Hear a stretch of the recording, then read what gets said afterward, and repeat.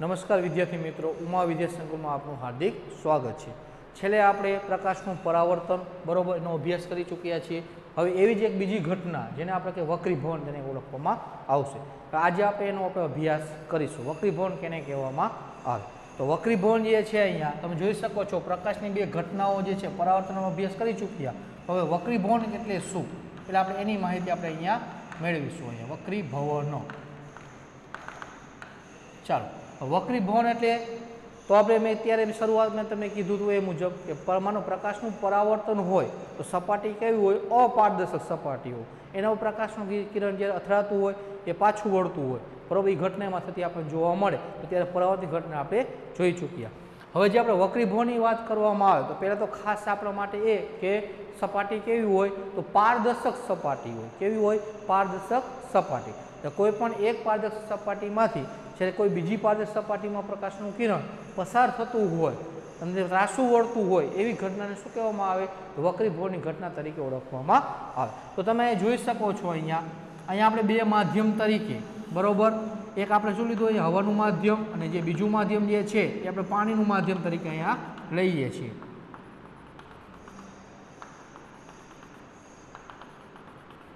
આ જે છે, કેવું માધ્યમ છે? અહીંયા તો હવાનું માધ્યમ છે. આ માધ્યમ તરીકે શું લીધું? આપણા માટે અહીંયા તો પાણીનું માધ્યમ લીધેલું. પ્રકાશનું શું આવશે? ત્રાસુ કિરણ. ખાસ ધ્યાનમાં રાખજો વિદ્યાર્થી મિત્રો, કે પ્રકાશનું જો ત્રાસુ કિરણ જે છે, બરોબર? શું થશે અહીંયા? હવાનું, પ્રકાશનું ત્રાસુ કિરણ કોઈ પણ બે માધ્યમમાંથી પસાર થતું હોય, ત્યાં શું થશે અહીંયા? તો જે સપાટી જે, અલગ પાટી જે સપાટી જે છે અહીંયાથી કેવું વર્ષ આપણા માટે? એમ ત્રાસું વળતું આપણને જોવા મળે. એને શું કહેવામાં આવે? તો વક્રીભવનની ઘટના તરીકે ઓળખવામાં આવે. તો અહીંયા આપણે જોઈ શકાય આપણા માટે હવાનું પ્રકાશ હવામાં પ્રકાશનું કિરણ પસાર થાય, પછી પાણીમાં પ્રકાશનું કિરણ પસાર થાય ત્યારે આ બે સપાટી છૂટી પાડતી જે સપાટી જે છે સપાટી, એ બિંદુ આગળ શું થાય અહીંયા આપણને? ત્રાસું વળતું જોવા મળે. ત્રાસું વળવું મતલબ અથવા વિચલિત થતું જોવા મળે. એ ઘટનાને શું કહેવામાં આવે અહીંયા? વક્રીભવનની ઘટના તરીકે ઓળખવામાં આવે. તો અહીંયા જે આ પ્રકાશનું કિરણ જે છે, આ ઉપર શું થાય અહીંયા? તો આપાત કિરણ કહેવામાં આવે. અને શું કહેવાય? આપાત કિરણ. તો પ્રકાશનું કિરણ આપાત થાય છે. કયા માધ્યમ પસાર થાય? તો હવાના માધ્યમ પસાર થાય. આ જે કિરણ છે, આ કિરણ, બરોબર? તો અહીં શું થાય? એનું વક્રીભવન થાય. તો આ કિરણ શું કહેવામાં આવે? તો વક્રીભૂત કિરણ તરીકે ઓળખવામાં આવે. વક્રીભૂત કિરણ. ઓમાં શું થતું આપણા માટે અહીંયા આપાત કિરણ અને પરાવર્તિત કિરણ લેતા હતા. શું કામ? અહીંયા પરાવર્તન થતું હતું. તો પરાવર્તિત કિરણ કીધું. અહીંયા શું થાય એનું? તો ત્રાસું વળતું જો એટલે કે વક્રીભવની ઘટના થતી. એને શું કહેવામાં આવે? અહીંયા તો વક્રીભૂત કિરણ તરીકે ઓળખવામાં આવે. અહીંયા શું દોરીએ છીએ? અહીંયા સપાટી દોરેલો લંબ. બરોબર? તો હવે તમે શું કહી શકશો? અહીંયા તો પ્રકાશનું જે કિરણ જે છે, કિરણ, એ કેવું થાય? ત્રાસું કિરણ. આપણે ખાસ ધ્યાનમાં રાખજો કે પ્રકાશનું ત્રાસુ કિરણ એક માધ્યમમાંથી જ્યારે બીજા માધ્યમમાં પ્રવેશતું હોય ત્યારે એ જે સપાટી આગળ, બે સપાટી કઈ પડે અહીંયા છૂટી પડતી સપાટી આગળ, સે ત્રાસું વળતું જોવા મળે. એ ઘટનાને શું કહેવામાં આવે? વક્રીભવનની ઘટના તરીકે ઓળખવામાં આવે. ક્લિયર વ્યાખ્યા એકદમ સહેલી છે અહીંયા, તમે કહી શકો છો. હવે બીજી વસ્તુ અહીંયા. તો આ ત્રાસુ શું કામ વળે છે? વક્રીભવનની ઘટના શા કારણે થાય? એ આપણે પહેલાં ખાસ ખ્યાલ હોવો જોઈએ. બરોબર? તો એના માટે તમે શું આપી શકશો આન્સર અહીંયા? તો માધ્યમ છે માધ્યમ. એક માધ્યમમાંથી બીજા માધ્યમ પ્રકાશનું કિરણ પસાર થાય, તો ઝડપમાં શું થાય? ફેરફાર થતો જોવા મળે. ઝડપ મતલબ કે વેગ. વેગમાં શું થશે? બદલાશે. એ બદલતો હોવાથી પ્રકાશનું કિરણ શું થશે? અહીંયા તો ત્રાસું વળતું આપણને જોવા મળે છે. કોઈ તમને પ્રશ્ન પૂછે કે વક્રીભવનની ઘટના જે છે, શું કામ થાય? શું કામ ત્રાસું વળતું જોવા મળે? તો એની ઝડપ બદલાય છે. શું થશે? એની ઝડપમાં ફેરફાર થતો આપણે જોઈ શકાય. દાખલા તરીકે અહીંયા માનો કે આપણે પ્રવાહી તરીકે, માધ્યમ તરીકે આપણે પાણીનું લીધેલું છે. હવે માનો હવામાંથી પ્રકાશનું કિરણ કાચના માધ્યમમાં પ્રવેશતું હોય, તો પણ એમાં વેગમાં ફેરફાર થતો જોવા મળે. તો એ સ્વાભાવિક રીતે કહી શકાય, અહીંયા પણ વક્રીભવનની ઘટના થતી આપણે જોઈ શકીએ છીએ. તો જેમ માધ્યમ બદલાય છે, એમ વેગમાં શું થાય? ઝડપમાં ફેરફાર થાય છે. તો આપણે કહી શકશો તમે અહીંયા હવા છે, એના કરતાં પાણીનું માધ્યમ કેવું હોય? ઘટ માધ્યમ થયું. તો વેગ શું અહીંયા અહીંયા ઘટશે. હવે માનો હવામાંથી કાચના માધ્યમમાં પ્રવેશતું હોય, તો શું થશે હવા કરતાં કાચનું માધ્યમ કેવું થયું? પ્રકાશ રીતે ઘટ થયું. તો એમાં પણ શું થશે? એમાં એની વક્રીભવન જે થતું આપણને જોવા મળશે. ઝડપ એની ઘટતી આપણને જોવા મળે. હવે અહીંયા જે વક્રીભવન જે ઘટના જે છે, આપણે એના ઘણા બધા ઉદાહરણો આપણે જોઈ શકાય. ઉદાહરણ તરીકે આપણે લેવું તો આપણે જોઈ શકીએ કે નાના ધોરણમાં આપણે અભ્યાસ કરી ચૂક્યા છીએ. બરોબર? અથવા પ્રવૃત્તિ પણ સ્વરૂપ તમે જોઈ ચૂક્યા છો. કે કોઈ પાણીનો ગ્લાસ હોય, પાણીના ગ્લાસમાં. એમાં પેન્સિલ બુડાડવામાં આવે છે, તો પેન્સિલ આપણને કેવી જોવામાં આપણે અહીંયા તો ત્રાસથી વળેલી જોવા મળે. અથવા તો જે સપાટી આગળ જે ભાગ કેવો થાય અહીંયાથી આપણને તૂટી ગયેલો હોય, એવો આપણને ભાસ થાય. તો અહીંયા જોઈ શકીએ આપણે દાખલા તરીકે અહીંયા આ પાણીનો આપણે ગ્લાસ લીધેલો છે. આ કવો પાણી ગ્લાસ છે? તો ખાલી પાણીનો ગ્લાસ કાચનો લીધેલો છે. આમાં આપણે શું રાખીએ છીએ? અહીંયા તો પેન્સિલ રાખીએ ઢળતી હોય એ મુજબની. શું રાખી લે આપણા માટે અહીંયા? તો પેન્સિલનો જે ભાગ જે છે, આમ ઢળતી હોય મુજબ દર્શાવો. હજી જો આપણે પાણી નાખેલું નથી, એટલે તમે જોઈ શકો છો, પેન્સિલ કેવી જો મળે આપણે એકદમ આમ સીધી હોય, બરાબર, એવી આપણને જોવા મળે. હવે જો પાણીના ગ્લાસમાં આપણે શું નાખીએ અહીંયા? તો કે પાણી નાખવામાં આવે. તો એ જ પાણીનો ગ્લાસ છે. પેન્સિલ જે સ્થિતિ હતી, એ સ્થિતિમાં આપણે રહેવા દઈએ છીએ. માત્ર શું કરીએ છીએ આપણે આમાં? તો કે પાણી નાખીએ છીએ. શું નાખીએ અહીંયા? પાણી. જે પેન્સિલ જે છે, પેન્સિલ, આ જે છે ભાગ, એ કેવો જોવા મળશે? આપણને સીધો જ જોવા મળે. પરંતુ આ ભાગથી શું જોવા મળશે? આપણે અહીંયા ત્રાસી વળેલી આપણે પેન્સિલ આ રીતે જોવા મળે છે. એનો મતલબ શું થશે અહીંયા? જે બે માધ્યમ છે, બે માધ્યમ. તમે જોઈ શકો છો અહીંયા. અહીંયા માત્ર એક જ માધ્યમ હતું. અહીંયા હવાનું માધ્યમ હતું, અહીંયા પણ હવાનું માધ્યમ હતું. તો વક્રીભાવની ઘટના દર્શાવતું નથી. પણ અહીંયા તમે જુઓ છો, અહીંયા હવાનું માધ્યમ છે. અહીંયા કેવું માધ્યમ આવી ગયું? આપણા માટે પાણીનું માધ્યમ આવી ગયું. તો એ શું થશે આપણા માટે અહીંયા? બે માધ્યમોની છૂટી પાડતી સપાટી, તમે જોઈ શકાય અહીંયા. અહીંયા સુધી હવાનું માધ્યમ છે, અહીંયાથી પાણીનું માધ્યમ આવે છે. એટલે શું થશે અહીંયા? વક્રીભાવની ઘટના આપણને થતી જોવા મળે. એટલો મતલબ, તો અહીં શું થશે આપણને? તો પેન્સિલ જે છે, આપણને તૂટી ગયેલી હોય અથવા તો વળેલી હોય, એવું આપણને જોવા મળે. તો આ શું કહી શકાય? તો વક્રીભાવનું ઉદાહરણ ગણવું હોય તો ગણી શકાય. ક્લિયર તો બે માધ્યમ બદલાણા. વેગમાં ફેરફાર થયો, તો જોનાર વ્યક્તિ જે છે, તો શું થશે અહીંયાથી? પાણીમાંથી પ્રકાશનું કિરણ કેમાં આવે છે? હવાના માધ્યમમાં આવે.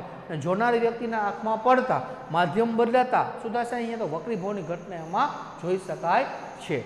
ક્લિયર હજી એવું નહીં, આપણે માનો કે બીજું કોઈ પણ ઉદાહરણ લેવું હોય તો લઈ શકાય. હવે અમારું આજ પાણીના ગ્લાસમાં આપણે કોઈનનું આપણે ઉદાહરણ લઈએ અહીંયા?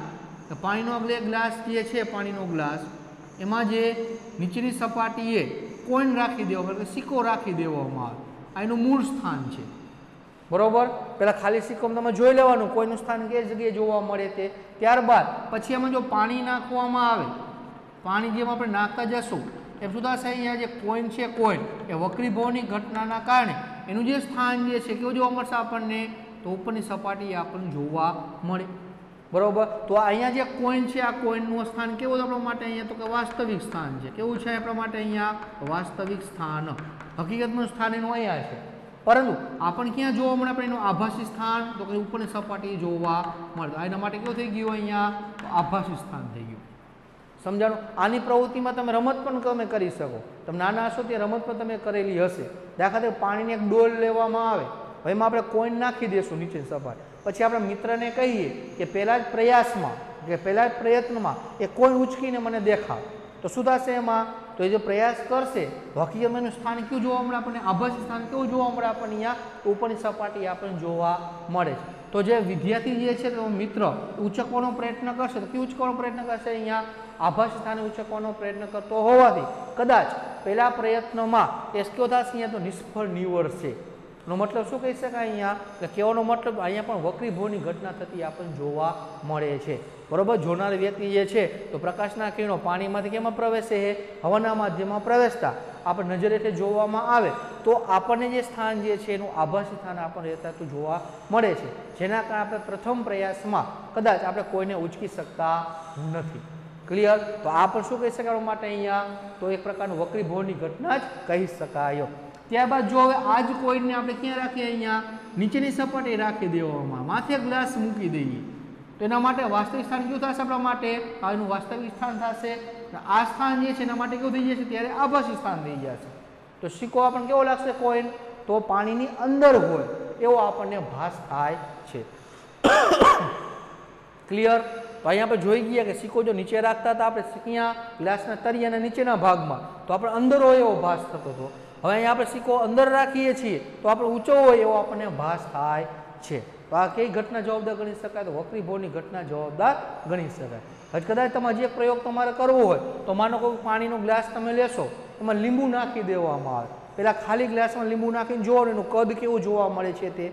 બરાબર? પછી એ જ લીંબુનું અંદર રહેવા દેવાનું છે. બહારથી એમાં પાણી નાખવામાં આવે. એનું કદ જે છે આપણને કેવું જોવા મળે આપણા માટે અહીંયા?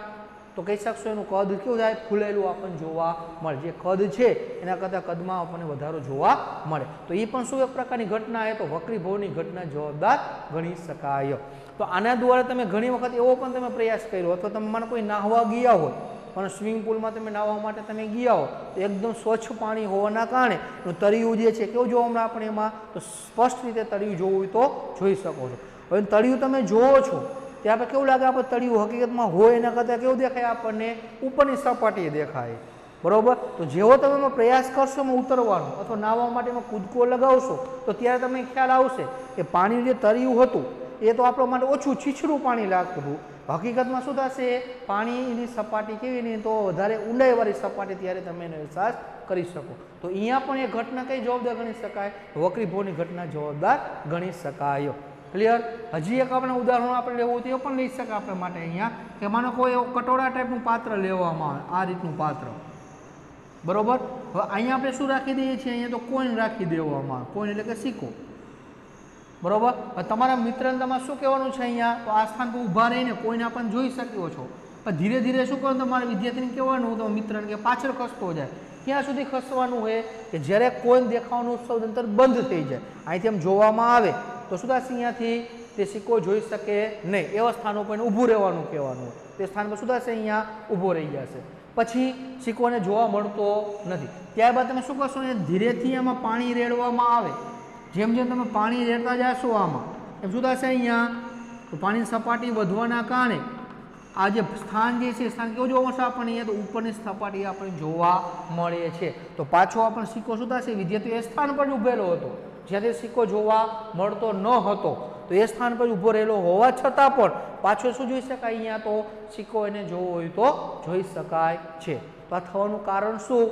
તો આ પણ એક પ્રકારની શું ઘટના ગણવામાં આવે? વક્રીભવની ઘટના ગણવામાં આવે. તો આ બધા રોજના જીવનમાં થતી ઘટનાઓ હોય. તમે જોઈ શકો છો. બરોબર? અથવા તો એનો પ્ર- પ્રયોગમાં, અથવા તો ઘણી જગ્યાએ તમને આવું અહેસાસ થતો આપણને જોવા મળે. તો હકીકતમાં શું છે આપણા માટે? અહીંયા ફિઝિક્સ અહીંયા ભાગ ભજવે છે. તો અહીંયા શું કહી શકાય? અહીંયા તો પ્રકાશની વક્રીભવની ઘટના અહીંયા જવાબદાર છે. તો આપણે પ્રવૃત્તિ જોઈ ગયા માટે, ગ્લાસના વાત કરી ગયા, અહીંયા પેન્સિલની રચના જોઈ. ત્યારબાદ આપણે સિક્કાની વાત કરી ગયા. અહીંયા પર જે કટારો ટાઈપના સાધનની વાત કરવામાં, અહીંયા પર કોઈની જે રચના જોઈ ગયા, તો આ બધી કઈ ગણવામાં આવે? અહીંયા વક્રીભવની ઘટના જોવામાં આવે. હવે બીજું હજી એક ઉદાહરણ તમારે લેવું તો એ પણ તમે લઈ શકો. તો કાચનો એક લંઘન સ્લેબ લેવામાં આવે. કાચનો લંઘન ટુકડો. બરાબર? એને માનો કોઈ પણ લખાણવાળી વસ્તુ હોય, એના ઉપર માનો રાખશું આપણે. કોઈ કાગળ જે છે, એમાં માનો લખાણ લખેલું કે પાઠ્યપુસ્તક હોય, એના પર કાચનો સ્લેબ રાખી દેવામાં આવે. ઉપરથી તમે જોશો, તો સપાટી સુધા અક્ષરો આપણને થોડા ઉચકેલા હોય, ઉપસેલા હોય, એવો આપણને ભાસ થાય છે. તો એનો મતલબ શું કહીશ આપણા? માટે અહીંયા અહીંયા પણ વક્રીભવની ઘટના જવાબદાર છે. ક્લિયર તો આ બધી પ્રવૃત્તિ શું સમજાવે આપણા માટે? એ તો વક્રીભવની ઘટના સમજાવે છે. હવે આપણે વ્યાખ્યા જોઈએ એ મુજબ. વ્યાખ્યામાં આપણે શું કીધું અહીંયા? કે પ્રકાશનું જે કિરણ જે છે, કેવું હોય? ત્રાસુ આપાત થતું હોય. આપાત કિરણ કેવું હોય? ત્રાસુ આપાત થતું હોય. ત્યારે બે માધ્યમોની સપાટી આગળ, એ બિંદુએ શું થાય છે? ત્રાસુ વર્તુળ જોવા મળે. બરોબર? તો વાંકું જોવા મળે. આ ઘટનાને શું કહેવામાં આવે? તો વક્રીભવની ઘટના તરીકે ઓળખવામાં આવે. તો આ બધા શું થઈ ગયા? આપણા માટે એના ઉદાહરણો થઈ ગયા. હવે આપણે માનો ચર્ચા કરશું અહીંયા. માનો કાચના લંબઘનમાં પ્રકાશનું જે વક્રીભવન કઈ રીતે થતું આપણને જોવા મળે. બરાબર? કેટલા એંગલેથી આપણે પ્રકાશને આપણે આપાત કરીએ છીએ? તો આમાં વક્રીભવન થતું જોવા મળે. કયા એંગલથી આપણે આપાત કરવામાં આવે? તો વક્રીભવન દર્શાવતું નથી. બરાબર? તો ચાલો અહીંયા આપણે જોઈએ. માનો કે કાચનો એક લંબઘન ટુકડો લીધેલો જે છે, કોઈ માનો કે કાગળ ઉપર રાખી દેવામાં આવે, આપણે સપાટી નામ આપણે આપી દઈએ એ બી સી અને ડી હવે માનો લેઝર લાઇટની મદદથી પ્રકાશ તમે આપાત કરશો અહીંયાથી. તો શું થશે અહીંયા? તો માધ્યમ જોશો અહીંયા. હવાનું માધ્યમ છે, આ કાચનું માધ્યમ છે, પાછું કેવા ગયું આપણા માટે? હવાનું માધ્યમ છે. તો અહીંયા એબી સપાટી આગળ શું થશે? અહીંયા ત્રાસું વર્તું જોવા મળશે. કોઈ માનો કે આપણે લેઝર લાઇટની મદદથી પ્રકાશ આપાત કરવામાં આવે, તો અહીં અથડાશે અહીંનું વક્રીભવન થશે, એ જ પ્રકાશ જે છે પાછો બહાર નીકળશે. તો ત્યારે પણ શું થશે અહીંયા? વક્રીભવન થતું જોવા મળશે. દાખલા તરીકે પ્રકાશનું કે હું અહીંથી આપાત કરું, ત્રાસું લેઝર લાઇટની મદદથી. બરાબર કિરણ તરીકે એને શું નામ આપું છું? અહીંયા ઈ એફ કિરણ લઈએ છીએ. શું લઈએ છીએ? ઈ એફ કિરણ. એ બી સપાટી આગળ જ્યાં અથડાય છે એને હું નામ આપું છું? ઓ નામ આપું છું. શું આપું છું અહીંયા? ઓ બિંદુએ અથડાણું. તો શું થશે અહીંયા તો વક્રીભવન થતું આપણને જોવા મળશે આ રીતે. એક ત્રાસું વળતું જોવા મળશે. હવે જ્યારે સીધી સપાટી ઉપર અથડાય છે એ બિંદુને હું નામ આપું છું? અહીંયા તો પછી ઓ ડેશ નામ આપું છું. શું નામ આપ્યું મેં અહીંયા ઓ ડેશ વળી પાછું તમે જોશો કે કાચના માધ્યમમાંથી પાછું કેમાં આવે? હવાના માધ્યમમાં આવે. તો સીધી સપાટી શું થશે ની સપાટીથી પાછી બે માધ્યમ બદલાતા જોવા મળે. તો વળી પાછું થશે એનું વક્રીભવન થતું આપણને જોવા મળે. આ કિરણને માનો હું જી એચ નામ આપું છું. શું નામ આપું છું અહીંયા? જી એચ તો અહીંયા ત્રણ કિરણો સંકળાયેલા છે. તમે જોઈ શકો છો અહીંયા કે ઈએફ કિરણ છે પછી ઓ ઓડેસ કિરણ છે અને જીએચ કિરણ છે. ત્રણેય કિરણને કયા નામથી ઓળખવામાં આવે? પહેલાં આપણે એની સમજૂતી અહીંયા મેળવીએ. તો ચાલો, તો અહીંયા એબી સપાટી ઉપર પ્રકાશનું કિરણ અથડાય છે. તો આને શું કહેવામાં આવે આપણા માટે અહીંયા? તો કે આપાત કિરણ કહેવામાં આવે. શું કહેવાય એને? તો આપાત કિરણો. બરોબર? હવે સપાટી સાથે અથડાય છે. અને કિરણ કેવું વળે આપણા માટે અહીંયા? તો કે ત્રાસુ વળે છે. એટલે કે વક્રીભૂની ઘટના થાય છે. તો આ કિરણને શું કહેવામાં આવે? વક્રી ભવન કિરણ અથવા વક્રીભૂત કિરણ. વક્રીભૂત કિરણ. ફરી પાછું તમે જોઈ શકો છો, અહીંયા પાછળનું વક્રીભવન થાય તો આ કિરણને શું કહેવામાં આવે? તો નિર્ગમન કિરણ તરીકે ઓળખવામાં આવે. નિર્ગમન કિરણ. ચાલો. હવે સપાટી દોરેલ લંબની આપણે જોઈએ જઈએ કે સપાટી દોરેલો લંબ, એને શું લઉં છું અહીંયા? તો એમ એમ ડીએસ લઉં છું. અને સીધી સપાટી દોરેલો લંબ, એને શું લઈએ છીએ આપણા માટે? અહીંયા તો એન અને એન ડેસ લઈએ છીએ. ક્લિયર તો અહીંયા આપણે શું કર્યું? લેઝલાઇટની મદદે પ્રકાશનું કિરણ આપાત કરવામાં આવે છે. તો આ રીતે વક્રીભવન થઈને બહાર નીકળતું જોવા મળે. તો એ બી સપાટી આગળ, અહીંયા જે કહી શકાય ઈએફ જે છે આપાત કિરણ છે. ઓ ઓડેસ છે એ વક્રીભૂત કિરણ છે. ક્લિયર હવે જો સીધી સપાટી માત્ર વાત કરવામાં, માત્ર સીધી સપાટી પૂરતી જો વાત કરવામાં આવે, તો અહીંયા ઓ ઓડેસ છે એના પર અથડાય છે. એના માટે આપાત કિરણ થઈ જશે. બરાબર? અને સીધી સપાટી માટે આ જે કિરણ છે જીએચ કિરણ, એના માટે વક્રીભૂત કિરણ થઈ જશે. ક્લિયર પણ જો આખા કાચના સ્લેબની વાત કરવામાં આવે, લંબઘન ટુકડાની વાત કરવામાં આવે, તો અહીંયા ઈએફ કિરણ છે, એ આપાત કિરણ થાય છે ઓ ઓ ડેશ છે, વક્રીભૂત કિરણ થાય છે, અને અહીંયા જી એચ કિરણ છે, નિગમન કિરણ તરીકે દર્શાવવામાં આવે. સમજાણું? આખા જો કાચના સ્લેબની વાત કરીએ તો ત્રણેય કિરણ આપણે અલગ અલગ નામથી ઓળખી શકાય. આપાત કિરણ વક્રીભૂત કિરણ અને નિગમન કિરણ. ક્લિયર બીજું, હવે અહીંયા આપાત કિરણ જે છે અહીંયા સપાટી દોરેલો ખૂણો જે છે, આને શું કહેવાય? આપાત કોણ કહેવામાં આવે? તમે જોઈ શકો, આપાત કિરણ છે, સપાટી દોરેલો લંબ, બનતો ખૂણો, અને શું કહેવાય? આપાત કોણ? એ જ રીતે આ ક્યુ કિરણ છે આપણા માટે તો વક્રીભૂત કિરણ છે. આ સપાટી દોરેલો લંબ છે, બનતો ખૂણો એ શું કહેવાય? વક્રીભૂત કોણ કહેવાય? શું કહેવાય? વક્રીભૂત કોણ? સીધી સપાટીની આપણે વાત કરીએ કે નહીં સીધી સપાટી આગળ, એના માટે આ શું થઈ ગયું? આપાત કિરણ થઈ ગયું. તો એના માટે આપાત કોણ થશે આ? નાખ્યો થશે, એના માટે તો વક્રીભૂત કોણ તરીકે ઓળખવામાં આવે. જો આખા કાચના સ્લેબની વાત કરવામાં આવે, તો એના માટે આપાત કોણ થયો આ? આ વક્રીભૂત કોણ થશે અને આકરો થશે, તો નિગમન કોણ તરીકે ઓળખવામાં આવે. શું કામ? તો નિગમન કિરણ સપાટી દોરેલો લંબ પાસે બનતો ખૂણ. ખાસ ધ્યાનમાં રાખજો. આખું જો સ્લેબની વાત કરતા હોય, તો ત્યારે આપાત કિરણ, વક્રીભૂત કિરણ અને નિર્ગમન કિરણ. એ બી સપાટીની વાત કરતા હોય, તો અહીંયા આપણા માટે આપાત કિરણ, આ વક્રીભૂત કિરણ થશે. સીધી સપાટી આગળ વાત કરતા હોય, ત્યારે આપાત કિરણ નાખ્યું થશે, વક્રીભૂત કિરણ થશે. તો અહીંયા પ્રકાશનું કિરણ આપણે ત્રાસું ફેંકીએ છીએ. બરોબર? એક પ્રવૃત્તિ આપણે એવી પણ જોવામાં આવે. જો કાચના માનો કે સ્લેબમાં લંબ રૂપે આપાત કરવામાં કેવું આપાત કરીએ આપણા માટે? લંબ. આ છે જ મુજબ. આપણે માનો કે એબીસીડી જે સપાટીનું નામ આપણે આપેલું છે, એ જ નામ આપી દઈએ અહીંયા એબી સપાટી. બરાબર? એવી અને સીધી સપાટી. પછી એ જ મુજબ અહીંયા આપાત કરતું કિરણ, જો લંબરૂપે આપણે આપાત કરીએ છીએ, આપણા માટે આપાત કિરણ કયું હતું? તો પછી ઈ એફ જ હતું. એ જ લઈએ છીએ. ચાલો. ઈ અને એફ ઈ અને એફ કયા બિંદુ અથડાય છે? તો પછી ઓ બિંદુ આગળ અથડાય છે. પરંતુ અહીંયા વક્રીભવન થતું નથી. આરપાર સીધે સીધું પસાર થતું આપણને જોવા મળે. અહીંયા શું થશે માટે અહીંયા ઓ ડેશ નામ આપણે આપીએ છીએ. અને શું નામ આપ્યું આપણે અહીંયા તો? જી અને એચ કિરણ નામ આપ્યું સમજાડો તો અહીંયા જે વક્રીભવન થયા વગર કિરણ જે છે, કેવું થઈ જાય આપણાથી? આર પાર થઈ જતું આપણને જોવા મળે. એટલે તમે શું કહી શકશો? જો પ્રકાશનું કિરણ ત્રાસુ આપાત કરવામાં આવે છે, તો શું થાય? એનું વક્રીભવન થતું આપણને જોવા મળે. પણ જોને લંબરૂપે આપાત કરવામાં આવે, તો પ્રકાશનું વક્રીભવન થતું નથી. ખાસ નોટ કરજો અહીંયા કે લંબરૂપે જો પ્રકાશનું આપાત કરવામાં આવે, તો પ્રકાશનું વક્રીભવન જવાબદાર ગણી શકાય. ને શું કામ કારણ કે કોઈ પણ પ્રકારનું તમે લંબ તમે દોરશો તો લંબ કેવો થશે એના ઉપર થશે ને અહીંયા? તો કોઈ પણ પ્રકારનો અહીંયા એંગલ બનતો નથી, ખૂણો બનતો નથી. ક્લિયર તો ઘણી વખત આપણે હેતુલક્ષી પ્રશ્ન તરીકે પૂછવામાં આવે કે કાચના લંબઘન પર, બરોબર, લંબરૂપે પ્રકાશનું કિરણ આપાત કરવામાં આવે ત્યારે, બરોબર, તો વક્રીભૂત કોણને આપાત કોણનું મૂલ્ય કેવું મળશે તો શૂન્ય જ મળશે. એટલે કે એમાં વક્રીભવન થતું નથી. ક્લિયર આના દ્વારા સમજૂતી મેળવી શકે તો પ્રકાશનું હંમેશા કેવું કિરણ આપાત કરવામાં આવે અહીંયા? તો ત્રાસુ કિરણ આપાત કરવામાં આવે. ક્લિયર હવે બીજું આપણે પાસ્ય સ્થાનાંતર ભેગું સાથે સાથે સમજી લઈએ અહીંયા. પાસ્ય સાથે સમજૂતી મેળવવા માટે તમારે આ આકૃતિનો ઉપયોગ કરવાનો રહેશે. તમે સમજી શકશો અહીંયા. તો પ્રકાશનું જે ત્યાં સુધી આપણે આપાત કરીએ છીએ, તો કેવું થાય અહીંયાથી ઈએફ જે છે આપણા માટે આપાત કિરણ છે. એનું પ્રવૃત્તિ કરતાં પહેલાં આપણે જો માનો તમે એ મુજબ તમે દર્શાવી શકો. કોઈ માનો ડ્રોઈંગ પેપર લેવામાં આવે, બરાબર? એના પર કાચનો લંબઘન મૂકી દે. આપણા માનો ડ્રોઈંગ પેપર છે, કાચનો લંબઘન મૂકેલો છે. એની આસપાસ પેન્સિલ શું કરવાનું તમારે અહીંયાથી પહેલાં આંકી લેવાનું. એટલે આપણે શું મળી જશે? એની બોર્ડર લાઇન મળી જશે એબીસીડી બરાબર? ત્યાં પછી ચાર સમાન ટાંકણીઓ લેવાની છે. કેટલી? ચાર સમાન ટાંકણીઓ. તો બે ટાંકણીઓ આપણે ઈ અને એફના સ્થાને ગુચાડવાની છે. કેવું? તો અહીંયા કેવો થવો જોઈએ? અમુક એંગલ બનતો હોય, ખૂણો બનતો હોય. એ મુજબ ટાંકણીઓ રાખવામાં આવે. તો ત્યારબાદ સામેની સપાટી તરફથી એને જોતા એક્ઝેક્ટલી એને સમાંતર રહે એ મુજબ બે ટાંકણીઓ રાખવાની છે. બરાબર? અહીંયા બે ટાંકણી તમે રાખેલી છે. આ પડખાના ભાગથી તમે જોવામાં આવે. અહીંયા શું કરશો આપણા માટે? ઈએફ જે ટાંકણીઓ રાખેલી છે, એ સ્થાન પર શું રાખવાનું આપણા માટે? અહીંયા જી અને એચ ટાંકણીઓ રાખવાની છે. બરાબર? પછી કાચના લંબઘન અહીંયાથી ઉચકી લેવાનો હોય. ત્યારબાદ જે ઈ અને એફ હતું અને જી અને એચ જે ટાંકણીઓ છે એને પણ દૂર કરી દેવાની. ત્યાર પછી આની સાથે શું કરશું અહીંયા? એ બી સપાટી આગળ. અહીંયા આપણે એને જોડી દેવામાં આવે. જે બિંદુએ છેદ છે એને આપણે ઓ નામ આપ્યું. એ જ મુજબ જી એચને જોડી દઈશું અહીંયા આપણે ઓ નામ આપશું. ત્યારબાદ ઓ અને ઓ જોડી દેવામાં આવે. તો આપણને આ મુજબની એક કિનાકૃતિ મળશે. આકૃતિ આપણને પ્રાપ્ત થશે. બરોબર? હવે પાસ્ય સ્થાનાંતર એટલે શું? લેટરશીપ કેને કહેવામાં આવે? પાસ્ય સ્થાનાંતર કેને કહેવામાં આવે?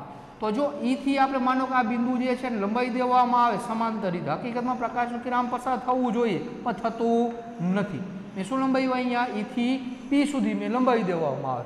સમાંતર રીતે. તો આ પ્રકાશનું જે કિરણ જે છે, હકીકતમાં આમ પસાર થવું જોઈએ.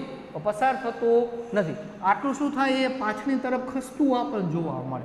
દાખલા તરીકે હું નામ આપી દઉં છું, અહીં એલ નામ આપી દઉં છું. તો એલ ઓડેસ. શું થયું આપણા માટે એટલું? પાસ્ય બાજુએ, પડખાના સાઈડમાં, શું થાય એટલું કિરણ ખસતું આપણને જોવા મળે. વાસ્તવમાં આપણે હકીકતમાં કેમ કિરણ નીકળવું જોઈએ? આ રીતે પસાર થવું જોઈએ ને? જો વક્રીભોર ન થતું હોય, તો કિરણ કેવું જોવું જોઈએ અહીંયાથી? તો ઈથી પી તરફ ગતિ કરતું જોવા મળે. પરંતુ અહીંયા બે વખત વક્રીભવન થાય. તમે જોઈ શકો છો. ઓ પાસે વક્રીભવન થાય એ અને ઓડેસ પાસે પણ શું થાય? અહીંયા વક્રીભવન થતું આપણને જોવા મળે. એનો મતલબ, તો શું થાય અહીંયા? તો એલથી ઓડેસ સુધી. શું થાય? આપણને પાછળની તરફ ખસતું આપણને જોવા મળે. તો આને શું કહેવાય આપણા માટે? તો પાસ્ય સ્થાનાંતર તરીકે ઓળખવામાં આવે. શું કહેવાય? તો કે છે પાસ્ય સ્થાનાંતર. અથવા તો લેટરલ તરીકે પણ ઓળખવામાં આવે. ક્લિયર પાસ્ય સ્થાનાંતર એટલે શું? તો તમે જોઈ શકો છો, તો એલથી ઓડે જેટલું શું થાય પાછળ તરફ ખસતું આપણને જોવા મળે છે. અને શું કહેવામાં આવે? તો પાસ્ય સ્થાનાંતર તરીકે ઓળખી શકાય. હવે અહીંયા પાત્ર માધ્યમમાંથી ઘટ માધ્યમ અને ઘટ માધ્યમમાંથી પાત્ર માધ્યમમાં પ્રકાશનું કિરણ પસાર થાય. લંબથી કઈ તરફ આગળ વધતું આપણને જોવા મળે? તો એ સમજૂતી અહીંયા મેળવવાની. તમે જોઈ શકો છો અહીંયા કે આ જે માધ્યમ આપણા માટે કેવું લીધેલું હોય એ માટે અહીંયા તો હવાનું માધ્યમ છે. આપણા માટે કેવું છે અહીંયા તો કાચનું માધ્યમ છે. અને પાછું આ માધ્યમ કેવું આપણા માટે અહીંયા તો કે હવાનું માધ્યમ છે. તો હવાનું માધ્યમ કાચના માધ્યમ કરતાં પ્રકાશીય રીતે કેવું હોય? પાતળું માધ્યમ છે. પ્રકાશીય ઘનતા અને દળ ઘનતા. બંને શબ્દ અલગ છે, સમજજો. પ્રકાશીય ઘનતા કેને કહેવામાં દળ ઘનતા કેને કહેવામાં આવે એટલે આપણે એની બેઝિક સમજૂતી મેળવી લઈએ. પ્રકાશીય ઘનતા અને દળ ઘનતા. દળ ઘનતા તમે બધા સમજૂતી મેળવી ચૂક્યા છો કે પાણી કરતાં જેની ઘનતા વધારે હોય, એ પાણીમાં શું થાય? બુડી જાય તો જોવા મળે. દાખલા તરીકે કોઈ પથ્થરનો ટુકડો લેવામાં આવે અથવા લોખંડનો ટુકડો તમે લેશો, એ પાણીમાં નાખતા, એ તરીકે શું થાય? એ બુડી જતો આપણને જોવા મળે. તો તમે ત્યાં શું કહેશો અહીંયા? કે પાણી કરતાં બરોબર કે પથરા અથવા તો લોખંડના ટુકડાની ઘનતા કેવી એ વધારે, એ દળ ઘનતા થઈ ક્લિયર તો પાણીમાં બુડી જતું જોવામાં. પ્રકાશીય ઘનતા કેને કહેવામાં આવે? તો પ્રકાશીય રીતે પાતળું માધ્યમ ને ઘટ માધ્યમ. તો અહીંયા તમે જોઈ શકો છો, હવાનું માધ્યમ છે. બરાબર? કાચના માધ્યમ કરતાં કેવું હોય તો પાતળું માધ્યમ. પ્રકાશી રીતે શું કહી શકાય? પાતળું માધ્યમ તરીકે ઓળખવામાં આવે. આ પ્રકાશિત કેવું થશે? આપણા માટે ઘટ માધ્યમ કહી શકાય. ક્લિયર તો તમે જોઈ શકો છો પાતળા માધ્યમમાંથી કેમાં આવે? તો ઘટ માધ્યમમાં પ્રકાશનું કિરણ પસાર થાય. તો ઝડપમાં શું થશે અહીંયા? ઘટાડો થતો આપણને જોવા મળે. તો તમે લખવું લખું તો આ મુજબ તમે લખી શકશો અહીંયા. કે જ્યારે પ્રકાશીય પાતળા માધ્યમમાંથી, એટલે કે પાતળા માધ્યમમાંથી કેમાં પસાર થાય એ? તો કે છે પ્રકાશી રીતે ઘટ માધ્યમમાં પસાર થાય. ક્યાં જાય એ? ઘટ માધ્યમમાં. શું થાય એ? પ્રકાશનું કિરણ પસાર થાય એ? તો ત્યાં શું થશે? એના વેગમાં ફેરફાર થાય. એટલે વેગ શું થાય? ત્યારે ઘટે. એટલે કે ઝડપમાં શું થાય? ઘટાડો થાય. ઝડપમાં ઘટાડો થાય. ક્લિયર તો ઘટાડો થતો હોવાના કારણે તો તમે જોઈ શકો છો, અહીંયા જે ખૂણો બને, તો ખૂણો કેવો બને? ઓછો બને. એટલે લંબ તરફ વળતું આપણને જોવા મળે છે. કેવું થયું અહીંયા? લંબ તરફ વળતું જોવા મળે. તો પ્રકાશમાં ઘટાડો થતો હોવાના કારણે શું થશે? લંબ તરફ શું થાય છે વળે છે. યાદ રાખવાનું તમારે અહીંયા કે પાતળા માધ્યમમાંથી જ્યારે ઘટ માધ્યમમાં પ્રકાશનું કિરણ પસાર થાય, ત્યારે ઝડપ અથવા વેગમાં શું થાય એ? ઘટાડો નોંધાય છે. એના કારણે શું થશે? તે લંબ તરફ વળે છે. બરોબર?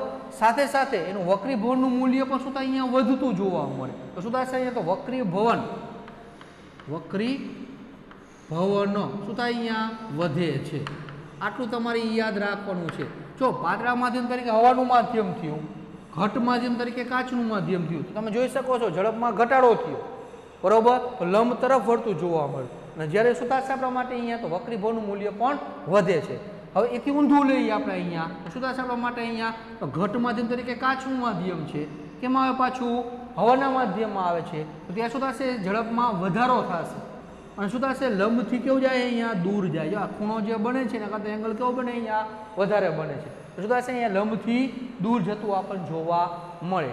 તો થશે? લંબથી અહીંયા દૂર ખસેડાય. વક્રી ભવનનું મૂલ્ય પણ શું થાય? અહીંયા ઘટશે. વેગ વધે તો વક્રી ભવન ઘટે વેગ ઘટે તો વક્રી ભવન વધે. બે ઊંધું ચાલે તો શું થશે? આપણા માટે અહીંયા આવે તો ઘટ માધ્યમમાંથી. એમાં જાય છે? આપણા માટે અહીંયા? પાતળા માધ્યમમાં. પસાર થાય ત્યારે. અહીં ઝડપ ઘટતી હતી. હવે શું થશે આપણા માટે અહીંયા ઝડપમાં વધારો થાય. શું થયું? ઝડપમાં વધારો. તો કેવું થયું આપણા માટે અહીંયા તો લંબથી કેવું ગયું? દૂર જાય છે. તો તમે જોઈ શકો છો અહીંયા કે લંબથી કેવું જાય આપણા માટે? અહીંયા દૂર જતું જોવા મળે. તો વક્રી ભવનનું વેલ્યુની વાત કરીએ આપણા માટે અહીંયા વક્રી ભવન. શું થાય? વધે છે તો શું થશે આપણા માટે અહીંયા?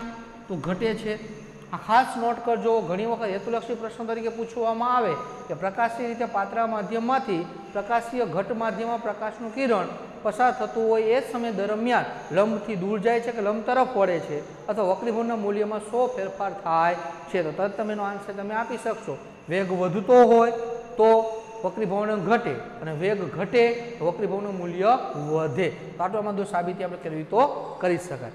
હવે આપણે જે વાત કરવા જઈ રહ્યા છીએ અહીંયા એ વક્રી ભવનના નિયમો. વક્રી ભવનના નિયમો. વક્રી ભવનના બે નિયમો છે. જેમાં આપણે પરાવર્તનના બે નિયમો આપણે અભ્યાસ કરી ચૂક્યા હતા. બરોબર? કે આપાત કિરણ પરાવર્તન સપાટ દોરેલો એક સમતલમાં હોય છે. આપાત કોણ અને પરાવર્તન કોણ હંમેશા સમાન મૂલ્યના હોય છે. પરાવર્તન માટેના બે નિયમો અભ્યાસ કરી ચૂક્યા હતા. તો વક્રી ભવનના પાછા આપણે બે નિયમનો આપણે અભ્યાસ કરવાનો છે. ચાલો, પહેલો નિયમ આપણે અહીંયા જોઈએ. તો તમે તમે જોઈ શકો છો, આ આપાત કિરણ છે, આ વક્રીભૂત કિરણ છે અને આ સપાટી દોરેલો કેવો છે આપણા માટે? અહીંયા તો લંબ છે. છે આ લંબ, સપાટી દોરેલો લંબ છે. બધા કેવા હોય? એક જ સમતલમાં હોય છે. જો આમાં પેલો જે નિયમ હતો, એમાં માત્ર ફેરફાર શું થયો? અહીંયા તો પરાવર્તિત કિરણ આવતું હતું. અહીંયા કેવો આપણા માટે આવે? તો વક્રીભૂત કિરણ આવે શું કામ? અહીંયા વક્રી ભવનની ઘટના થાય. એમાં કઈ થતી હતી? આપણા માટે અહીંયા તો પરાવર્તનની ક્રિયા થતી હતી. બરોબર, પરાવર્તનની ઘટના થતી હોવાના કારણે. અહીંયા શું લખી શકાય? આપાત કિરણ, વક્રીભૂત કિરણ અને સપાટી દોરેલો લંબ, બધા કેવા હોય? એક જ સમતલમાં હોય છે. તો લખી શકાય માટે અહીંયા. તો આપાત કિરણ, વક્રીભૂત કિરણ સપાટીના બિંદુએ દોરેલો લંબ. બધા કેવા હોય? કે એક જ સમતલમાં હોય છે. ક્લિયર આપેલો નિયમ થઈ ગયો. આપાત કિરણ, વક્રીભૂત કિરણ અને સપાટીના બિંદુએ દોરેલો લંબ. એક જ સમતલમાં હોય છે. ત્યાં પછી આપણે નંબર બે, એટલે બીજા નિયમની આપણે વાત કરીએ અહીંયા. તો વક્રીભવનના બે નિયમોમાં શું થશે અહીંયા? તો આને શું કહેવાય? આપાત કોણ કહેવાય? એ સંજ્ઞા કેના દર્શાવીએ આપણા માટે આઈ વડે દર્શાવીએ છીએ. બરોબર? આમાં પરાવર્ત કિરણ આપણે આર વડે દર્શાવતા હતા. એ જ મુજબ વક્રીભૂત કોણને કેને વડે દર્શાવવામાં આવે? તો આર વડે દર્શાવવામાં આવે. તો એ સાઇન સાથે લેવાનું છે અહીંયા કે આપાત કોણનો સાઇન આપાત કોણનો સાઇન અને વક્રીભૂત કોણનો સાઇન નો ગુણોત્તર. કેવો હોય છે અહીંયા? અચળ હોય છે. રંગ સાથે લઈ શકાય, માધ્યમ સાથે લઈ શકાય. બરોબર? અહીંયા આપણે શું લખશું આપણા માટે અહીંયા? તો આપાત કોણનો સાઇન આપાત કોણ? નો. સાઈન અને વક્રીભૂત કોણનો સાઈન. કોણનો સાઈન. નો. શું આવશે આપણા માટે અહીંયા? તો કહે છે ગુણોત્તર. કેવો હોય છે?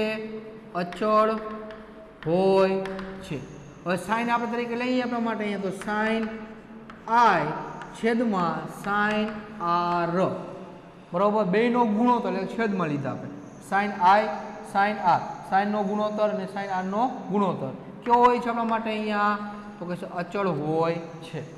જેને શું કહેવામાં આવે તો સાથે લખી શકાય આપણા માટે એને જેને સ્નેલનો નિયમ કહેવામાં ખાસ યાદ રાખજો, સ્નેલનો નિયમ ઘણી વખત એક માર્કમાં પૂછાય. એ સ્નેલનો નિયમ લખો. તો શું લખી શકાય? આપાત કોણનો સાઇન એટલે કે સાઇન આઈ વકીલભૂત કોણનો સાઇન એટલે સાઇન આર, નો ગુણોત્તર એટલે કે છેદમાં કેવો હોય છે? અચળ હોય છે, જેને સ્નેલના નિયમ તરીકે ઓળખવામાં આવે. એનું વ્યાપક સમીકરણ પણ આવે. સાઇન એન વન સાઇન બરોબર, બરાબર, n n two sine theta લખી લખી શકાય. આ રીતે લખવામાં આવે. એન વન સાઇન વન, બરાબર, એન ટુ સાઇન ટુ. પાછો તમારો પ્રશ્ન થશે ભાઈ એન વન શું છે ને એન ટુ શું છે? એનું વ્યાપક સમીકરણ છે. બરાબર? સ્નેલના નિયમનું વ્યાપક સમીકરણ. N one sine theta one, બરાબર, n two sine theta two. તો અહીં થીટા વન આપણા માટે આપાત કોણ લેશું? આ વક્રીભૂત કોણ લેશું? આ બેને શું લેવામાં આવે ના વક્રી ભૌનાંક નેક્સ્ટ ટોપિકમાં આપણે જોશું, ત્યાં તમને ખ્યાલ આવશે. તો એના માટે શું થઈ ગયું તો વ્યાપક સમીકરણ. એ તમારે તે લખવાની કંઈ જરૂરિયાત છે નહીં. માત્ર નિયમ જ તમે બે દર્શાવવાના રહેશે. શું કીધું આપણા માટે? આપાત કોણનો સાઇન અને વકીભૂત કોણનો સાઇનનો ગુણો. તો કેવો હોય છે? અચળ હોય જેને સ્નેહના નિયમ તરીકે ઓળખવામાં આવે. હવે એનું જે મૂલ્ય છે, કેનું મૂલ્ય? તો કે છે, કેટલા સુધીનું હોય છે? એ લખી શકાય આપણા માટે. કે ઝીરો અંશથી આ થીટા એટલે કે ખૂણો જે બને છે તે. ક્યાં સુધીનો હોય છે આપણા માટે તો નેવું અંશના ખૂણા સુધી વચ્ચેનું જ હોય મૂલ્ય. જીરો કરતાં વધારે હોય નેવું અંશ કરતાં કેવું હોય, ઓછું હોય. હમણાં આપણે જોઈ ગયા હતા કે ત્રાસુ કિરણ આપણે આપાત કરીએ છીએ તો અહીંયા કંઈ ખૂણો બને છે આપાત કોણનું મૂલ્ય. હંમેશા કેવું હોય ઝીરો અંશ કરતાં વધારે હોય નેવું અંશ કરતાં કેવું હોય, ઓછું હોવું જોઈએ. અહીંયા આપણે લંબરૂપે આપણે આપાત કરતા હતા બરાબર? તો કિરણ કેવું થતું હતું એમાંથી? સીધે સીધું આપણે પસાર થઈ જતું, આપણને જોવા મળતું હતું. એટલે મતલબ, તો કેટલું મૂલ્ય લેવામાં આવે? તો ઝીરો અંશથી નેવું સુધીના વચ્ચેનું મૂલ્ય લેવામાં આવે. ક્લિયર તો અહીંયા આપણે જોયું આપણા માટે વક્રીભવનના બે નિયમો. બરાબર? કે આપાત કિરણ છે, વક્રીભૂત કિરણને સપાટી દોરેલો લંબ એક સમતલમાં હોય છે. બીજું, ખૂણા સાથે લેવાનું. આપાત કોણનો સાઇન વકીભૂત કોણનો સાઇન નો ગુણોત્તર કેવો હોય? અચળ હોય છે, જેને શું કહેવામાં આવે તો સ્નેલના નિયમ તરીકે ઓળખવામાં આવે. ક્લિયર હવે લખો માટે તો સાઇન આઈ છેદમાં સાઇન આર બરાબર અચળ. તો n one sine theta one બરાબર એન ટુ સાઇન થીટા તો એનું વ્યાપક સમીકરણ લખી શકાય. હવે ત્યારબાદ આપણે આપણે આગળ વધશું અહીંયા. બરાબર? વક્રી ભવનાંક કેને કહેવામાં આવે? વક્રી ભવનાંક. બરાબર? અહીંયા વક્રી ભવન અને વક્રી ભવનાંક. તો બેમાં શું ભેદ છે? એ વક્રી ભવન એક પ્રકારની ઘટના છે સમજો શું છે, વક્રી ભવનની ઘટના છે. અને વક્રી ભવનાંક, બરાબર શું છે અહીંયા? તો કેટલું વક્રી ભવન થાય છે? નું પ્રમાણ આપે, માપ આપે, બરાબર, કેટલું પરિવર્તન થાય, કેટલો ફેરફાર થાયનું પ્રમાણ કેટલું છે? એને શું કહેવામાં આવે? તો વક્રી ભવનાંક તરીકે ઓળખવામાં આવે. તો ચાલો આપણે નેક્સ્ટ ટોપિક આપણે જોઈએ કે વક્રી ભવનાંક કેને કહેવામાં આવે.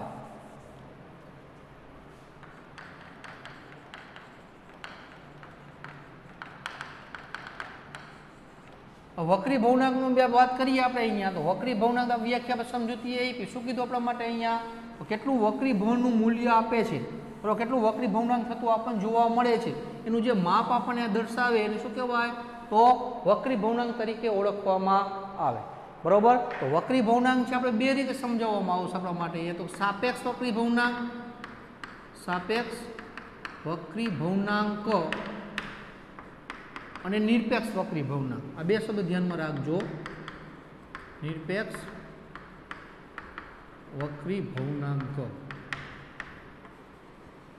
બરોબર? સાપેક્ષ વક્રી ભવનાંક અને નિરપેક્ષ વક્રી ભવનાંક આ બે રીતે સમજાવવામાં આવે. તો વક્રી ભવનાંક આપણે કીધું અહીંયા કે પ્રકાશનું જે ત્રાસુ કિરણ આપાત થાય અહીંયા, તો ત્રાસુ વળ્યું અહીંયાથી. વાકું વર્તું જોવા મળે, વક્રી ભવની ઘટના થઈ.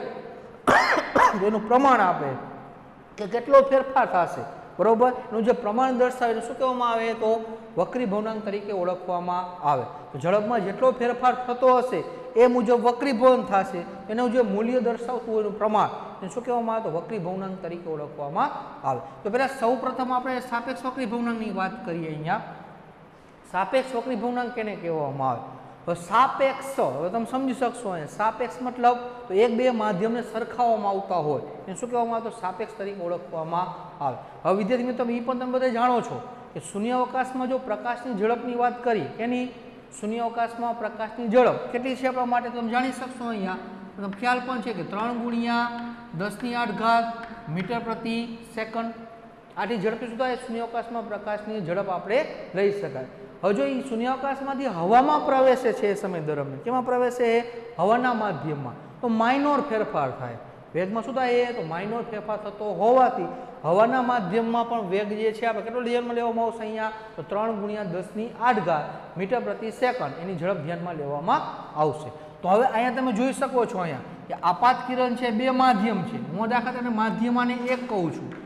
માધ્યમ એક ના માધ્યમ બે લઈએ છીએ આપણે. માધ્યમ બે. તો માધ્યમ એક તરીકે હવાનું માધ્યમ લીધેલું છે. અને માધ્યમ બે તરીકે કેવું લીધેલું આપણા માટે અહીંયા? તો તમે કહી શકો પાણીનું માધ્યમ લીધેલું છે. બેના વેગની જો વાત કરવામાં અને વી વન વેગ કહું છું. આને વેગની વાત કરવામાં તો વી ટુ વેગ કહું છું. સમજજો. માધ્યમ એકનો વેગ વી વન છે. માધ્યમ બેમાં પ્રકાશનો વેગ વી ટુ છે. એનો વક્રી ભવના માધ્યમ એક માટે એન વન. આના માટે સો સો માટે એન ટુ. એના આપણે શું વક્રી ભવનાંક કે શું દર્શાવવામાં આવે એન વડે દર્શાવવામાં આવે. તો માધ્યમ એક હોવાના કારણે એનો વક્રી ભવનાંક, નિરપેક્ષ વક્રી ભવનાંક કેટલો લઈએ છીએ આપણા માટે? એનો વન લઈએ છીએ.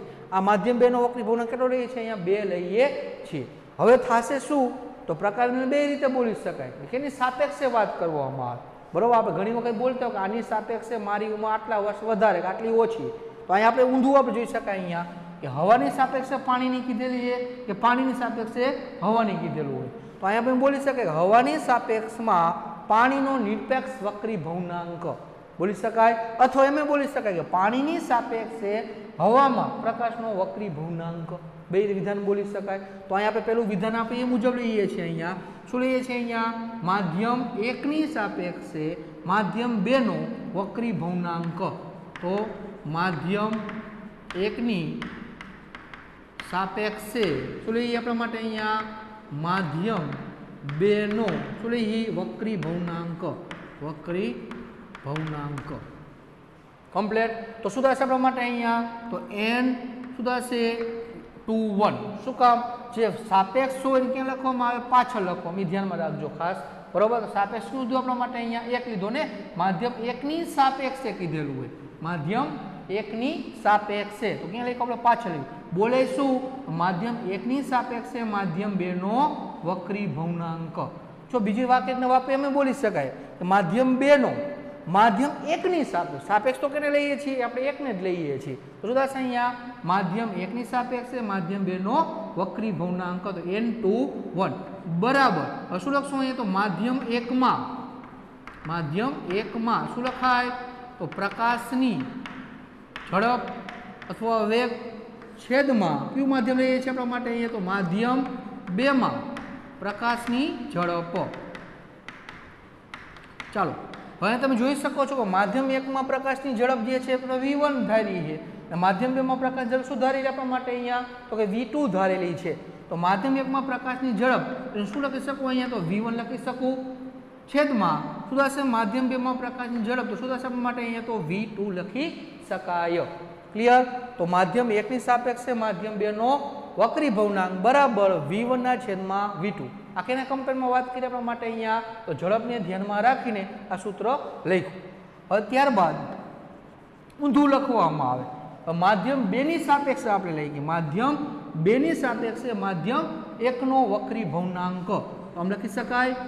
માધ્યમ બેની સાપેક્ષે માધ્યમ એકનો શું લખવામાં આવે અહીંયા?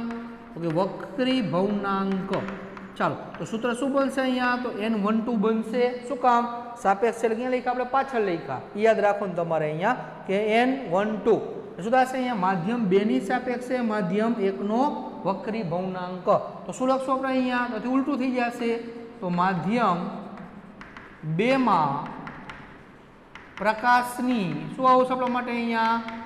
ઝડપ છેદમાં શું આવશે? માધ્યમ એકમાં શું આવશે? પ્રકાશની ઝડપ.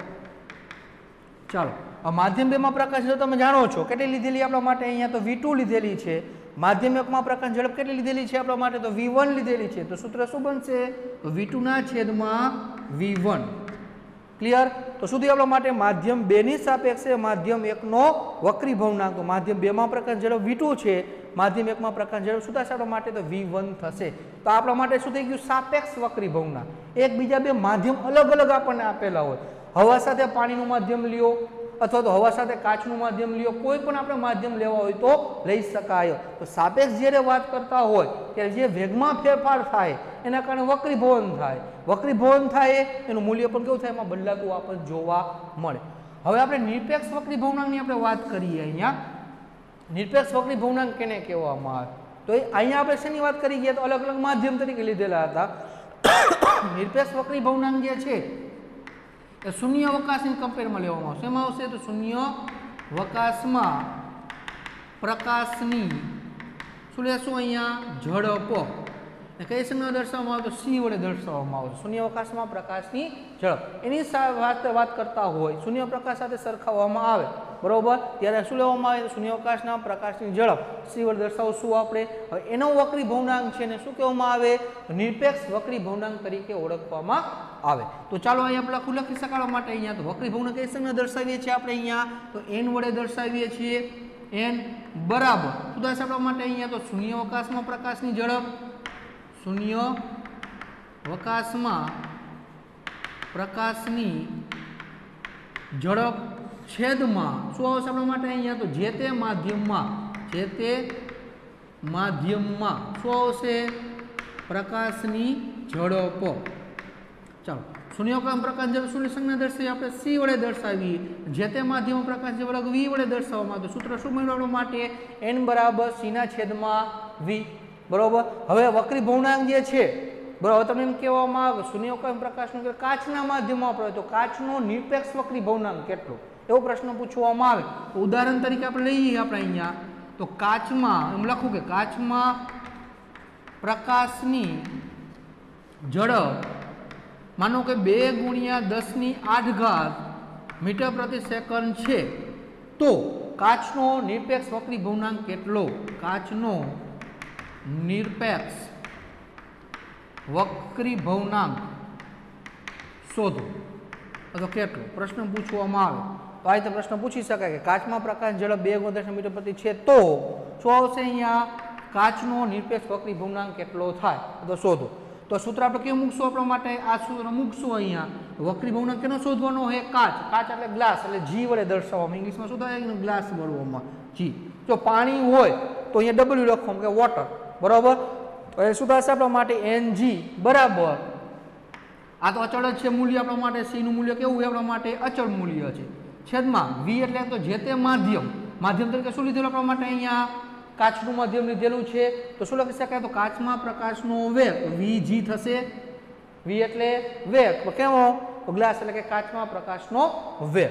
ચાલો સીનું મૂલ્ય આપણા માટે અચળ મૂલ્ય છે. તમે બધા જાણો છો. કેટલું આવે શૂન્ય પ્રકાશ ઝડપ તો ત્રણ ગુણ્યા દસની આઠ ઘાત. જો રકમમાં તમને આપેલું હોય તો ભલે, ન આપેલું હોય તો પણ ભલે. જ્યારે આપણે શૂન્યાવકાશમાં પ્રકાશની ઝડપની જ્યારે વાત કરતા હોય ત્યારે તમારે મૂલ્ય કેટલું ધારી લેવાનું? ત્રણ ગુણ્યા દસની આઠ ઘાત મીટર પ્રતિ સેકન્ડ. હવે, જે તે માધ્યમ તરીકે ગ્લાસનું આપણે આપી દીધેલું છે ઝડપ કેટલી આપી છે? બે ગુણ્યા દસની આઠ ઘાત મીટર પ્રતિ સેકન્ડ. હવે જો છેદ ઉડાડવામાં આવે તો આ બે શું થશે અહીંયાથી? દૂર થઈ જશે. ત્રણ ભાગ્યા બે કરશું આપણે અહીંયા. તો મૂલ્ય કેટલું મળશે અહીંયા આપણા માટે અહીંયા? એક પોઈન્ટ પાંચ. તો કેના બરાબર મળ્યું અહીંયા? તો એન જી. એટલે શું બોલી શકશો અહીંયા? તો કાચના માધ્યમનો વક્રી ભવનાંક કયો? નિરપેક્ષ વક્રી ભવનાંક એક પોઈન્ટ પાંચ. ટૂંકમાં આપણે નિરપેક્ષ ન બોલો તો પણ ચાલશે અહીંયા કે કાચનો વક્રી ભવનાંક કેટલો થયો? એક પોઈન્ટ પાંચ. નિરપેક્ષની જગ્યાએ માત્ર વક્રી ભવનાંક પણ બોલવામાં આવે. તો એટલે બોલી શકે આપણા માટે અહીંયા કે કાચનો વક્રી ભવનાંક એક પોઈન્ટ પાંચ. એક પોઈન્ટ પાંચ મૂલ્ય મળ્યું ક્યારે? તો નિરપેક્ષ વક્રી ભવનાંક કેની કમ્પેરમાં લેવામાં આવે? તો શૂન્ય અવકાશમાં પ્રકાશની ઝડપ સાથે સરખાવવામાં આવે. એ જ મુજબ માનો કે તમે પાણીનો લેવામાં આવે. બરોબર? અન્યથા કોઈ પણ માધ્યમનો લેવામાં આવે. તો તમને એમાં કોષ્ટક તમને આપેલું છે. કેમાં તો કે ટેક્સ્ટ બુકમાં તે કોષ્ટક તમને આપેલું, દરેકના વક્રી મૂલ્ય અલગ અલગ તમને આપેલા છે. એ તમે જોઈ શકો છો. એ તમારે યાદ રાખવાની કાંઈ જરૂરિયાત છે? નહીં. બરોબર? એમાં મૂલ્ય તમે જુઓ છો. હવાનું આપેલું છે, પછી આલ્કોહોલનું આપેલું, પાણીનું આપેલું, કેરોસીનનું આપેલું, ક્રાઉન કાચ છે, હીરો છે, નીલમ છે, માણેક છે, આ બધાને શું આપેલા આપણા માટે અહીંયા? નિરપેક્ષ વક્રી ભવનાંકના મૂલ્ય તમને આપેલા છે. તો એ જે ટેક્સ્ટ બુકમાં તમે કોષ્ટક જોશો અને સામે વેલ્યુ પણ તમને એમાં આપેલી. તો આ બધી વેલ્યુ જે પ્રાપ્ત કરેલી છે, એ કેની કમ્પેર સાથે લીધેલી એ શૂન્યાવકાશ પ્રકાશની ઝડપ સાથે આ મુજબ ગણતરી કરીને દરેકની વેલ્યુ દરેકનો પ્રકાશનો વેગ કેટલો છે માધ્યમમાં? એની બધી વેલ્યુ મૂકીને આ બધી વેલ્યુ આપણે મેળવી તો મેળવી શકાય. સાથે સાથે તમારે એ પણ એક નોટ કરજો અહીંયા કે વક્રી ભવનાંકના પાછળ કોઈ પણ એકમ રાખવામાં આવતો નથી. એટલે વક્રી ભવનાંક જે છે એકમ રહિત છે.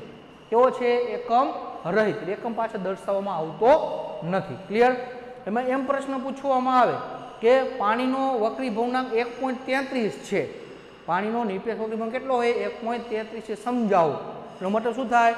તો પાણીનો પ્રકાશનો વેગ વાત કરવામાં આવે શૂન્યકોણ પ્રકાશની વેગની વાત કરવામાં આવે. એ બેનો જો ગુણોત્તર તમે લેશો, એનું મૂલ્ય કેટલું મળે? અહીંયા આપણે એક પોઈન્ટ પાંચ મેળવ્યું અહીંયા કેટલું મળશે આપણા માટે? એક પોઈન્ટ તેત્રીસ મૂલ્ય મળશે. એટલે સાથે તમે એ પણ તમે કહી શકો કે વક્રી ભવનાકનું મૂલ્ય જે છે, એક અથવા એક કરતાં કેવું હોય? વધારે જ હોય. શું કામ? હવે હું તમને પ્રશ્ન પૂછી શકાય આ રીતે. એક અથવા એક કરતાં વધારે મૂલ્ય મળે છે. શું કામ મળે છે? તો તમે ત્યાં તમે આન્સર માપ આપી શકાય. કે શૂન્યવકાશમાં જે પ્રકાશની ઝડપ છે, એમાં શૂન્ય વકાશમાં પ્રકાશની ઝડપ ત્રણ ગુણ્યા દસની આઠ ઘાત છે. એનો મતલબ, એવો કોઈ પણ માધ્યમ નથી, બરાબર, કે આટલો વેગથી પ્રકાશનું કિરણ પસાર થઈ શકે. લઈ કે કમ્પેરમાં શૂન્યાવકાશ સાથે સરખાવવામાં આવે છે. જે તે માધ્યમની છેદ વડે ભાગવામાં આવે છે. તો ભાગાકાર તમે કરશો આ મૂલ્ય કેવું છે? હંમેશા મોટું જ મૂલ્ય મળશે. એનો મતલબ ઉપર મોટું મૂલ્ય, નીચે નાનું મૂલ્ય હોવાના કારણે આ મૂલ્ય હંમેશા કેવું મળશે માટે? અહીંયા વક્રી ભવનાંગનું મૂલ્ય એક અથવા એક કરતાં વધારે જ મળશે. ક્લિયર અહીંયા આપણે ચર્ચા કરી ગયા આપણા માટે વક્રી ભવનાંક કેને કહેવામાં આવે? તો બે રીતે સમજાવી શકે. સાપેક્ષ વક્રી ભવનાંક અને નિરપેક્ષ વક્રી ભવનાંક બરોબર? હવે સાથે એવું કારણ પણ ઘણી વખત પ્રશ્ન પૂછાય અહીંયા કે કેરોસીન અને પાણીની વાત કરવામાં આવે. બરોબર? કેરોસીનની પ્રકાશીય ઘનતા પાણીની ઘનતા કરતાં કેવી વધારે છે? આમ જોઈએ દળ ઘનતા કેવી છે? તો કે ઓછી છે. પ્રથમ દાખલા તરીકે પાણીના ગ્લાસમાં. આમાં કેરોસીન નાખવામાં આવે. તો કેરોસીન શું થશે? ઉપર તરતું આપણને જોવા મળે. તો દળ ઘનતા કેવી થઈ ગઈ અહીંયા? તો તરત તમે કહેશો એમાં કે પાણી સાપડ ઉપર તરતું હોવાથી દળ ઘનતા કેવી એની ઓછી છે. પણ પ્રકાશીય ઘનતાની જો વાત કરવામાં આવે, તો કોષ્ટકમાં જો તેનું મૂલ્ય જે છે, પાણીના વક્ર વહન કરતાં મૂલ્ય કેવું એ વધારે એનો મતલબ શું કહી શકાય? પ્રકાશીય ઘનતા કેવી એની? તો વધારે છે. ક્લિયર તો શું કહી શકાય? એવું જરૂરી નથી કે દળ ઘનતા માનો કે ઓછી હોય, તો પ્રકાશની ઘનતા ઓછી જ હોય. તો શું કહી શકાય? તો પાણી કરતાં કેરોસીનમાં વક્રી ભવનાંકનું મૂલ્ય વધારે મળે છે. એટલે વક્રી ભવન કેવું થાય એમાં? વધારે થાય છે. ક્લિયર તો અહીંયા જે આપણે સમજૂતી મેળવી ગયા, વક્રી ભવનાંક કેને કહેવામાં આવે? સાપેક્ષ વક્રી ભવનાંક એટલે શું?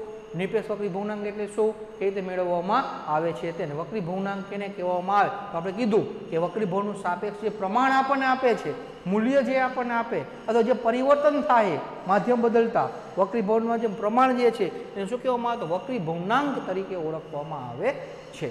ક્લિયર